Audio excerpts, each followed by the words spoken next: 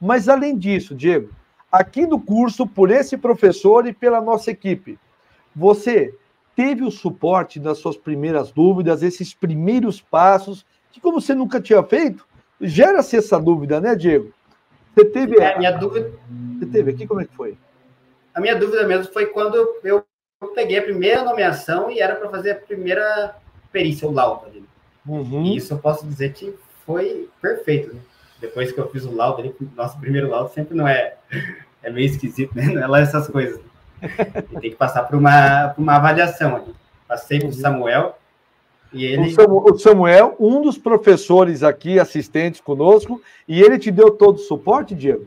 Deu todo o suporte. Uhum, ele uhum. respondeu os quesitos, tudo foi, foi perfeito.